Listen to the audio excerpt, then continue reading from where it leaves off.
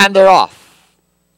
Looked like a good enough start for all. Spearing away to the front, Southwestern Hope is going to take the lead out of the chute and into the main part of the backstretch as they link up. Into second is ABQ is going nicely. Dog trying to lengthen his stride to gain third. Right behind him, Nicoro surges up. There's Agronomo. And to the outside of him, a Xenon Knight's a bit closer than normal.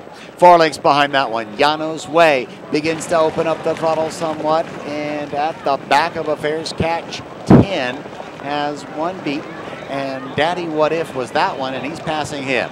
So with a half mile still to travel, they're heading for the turn, and ABQ makes a resolute run here to take over the lead. He's in front by about a length. A Xenon Knight fighting hard on the rail. Daw still with a good puncher shot. And in fourth, Yano's Way lengthens his stride for the stretch run. Caught very wide is Daddy What If.